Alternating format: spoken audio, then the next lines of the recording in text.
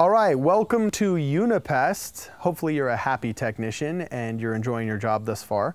Right now we're going to talk about what the uniform requirements are at Unipest, okay? Now, first and foremost, we have PPE, which is our personal protective equipment.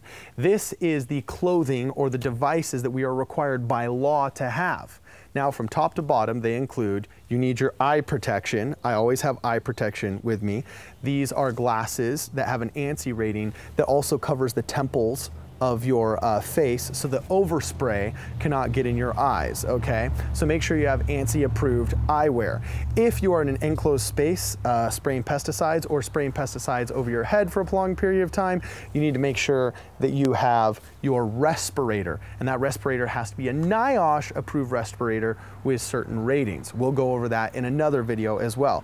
Following down the body, you've got your long sleeved shirt. Your uniform shirt counts as your long sleeve shirt, your PPE.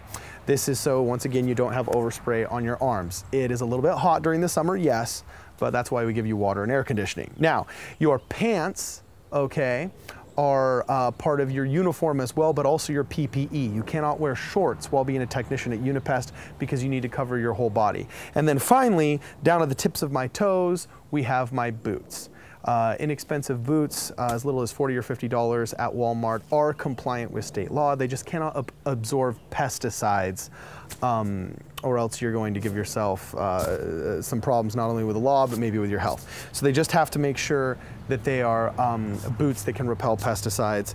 And then if you're ever doing a job and you're on site, besides your eyewear, and um, your long sleeve pants and long sleeve shirts, you always have to make sure that you are issue, issued gloves. Now, if you're going to do rep repetitive spray jockey work, uh, we recommend you use the large, big, fat, uh, reusable um, neoprene gloves, okay? Proper PPE requires that your gloves do not have any kind of insulated or material lining. They have to be gloves that are simply neoprene gloves without any kind of lining. So at the filming of this video, uh, you could still use smaller millimeter gloves like these. However, the law is changing soon to require the use of 14 mil gloves. Okay, so you have to make sure that you have according to law, your eye protection, okay, your arm protection, meaning your shirt, your leg protection, meaning your pants, your hand protection, meaning your gloves, and your mouth or respiratory tract protection, meaning your respirator, if you're using pesticides that require one. Uh, pesticides that require a respirator are extremely rare in our job. Uh, most spray jockeys never really have to use them. So that's our PPE that's required. Now, besides the boots, the pants, the shirt, the gloves, the respirator, and the eye goggles, there's a couple of extra things that we as a company require beyond the state's requirements. One of them is your bump cap. Okay, this bump cap, as you can see, it embarrassingly has a lot of bumps on it. Oftentimes when you're walking around and you're spraying with a B&G or a Birchmeier, your head is going to come up against a bird feeder that maybe you didn't see, or an overhang you maybe didn't see, and you're going to bump it. Uh, in order to avoid any type of injury, we require that you wear bump caps. Also, I highly recommend that technicians have on their belt several things. I like to keep my phone out of the way so it's not in my pockets where I don't have to grab it when I have gloves. So I have a pocket holster for my phone. I also always have on me as part of my uniform requirement a multi-tool. These multi-tools are useful in a jam. Uh, there's a million and one reasons why you need a screwdriver or why you need some of the many tools that are on a multi-tool. And then we also always carry with us a flashlight.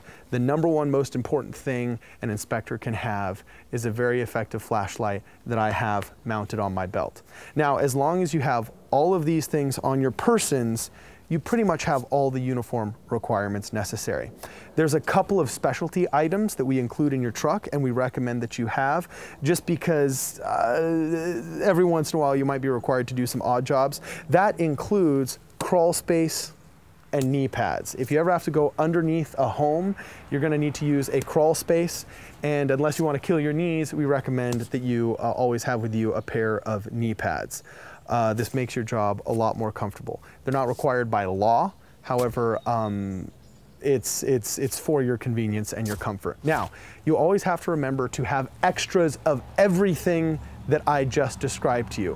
one, two is one and one is none is a common phrase amongst Navy SEALs because if you have two radios and one breaks, well, now all of a sudden you have one that functions and you can use. Whereas if you have one radio and it breaks, all of a sudden you have no communication with your home base. So always have extras. That means you need to make sure you always have extra gloves on you in case you run out of the gloves that are in your box or in case the reusable black gloves you have break. Make sure that you have a clean uniform top and bottom, pants and shirt. So in case you have to crawl somewhere dirty or in case you have a pesticide spill, you have a uniform shirt that you can change into. You always should have your respirator as well as an extra inside the cab of the vehicle. In the compliance bag, we always have extras. And um, you should always make sure, if possible, um, that you have at least one set of extra boots inside of the truck. So um, call us if you have any questions about uh, PPE or any of the uniform requirements, and we'll see you in the next video.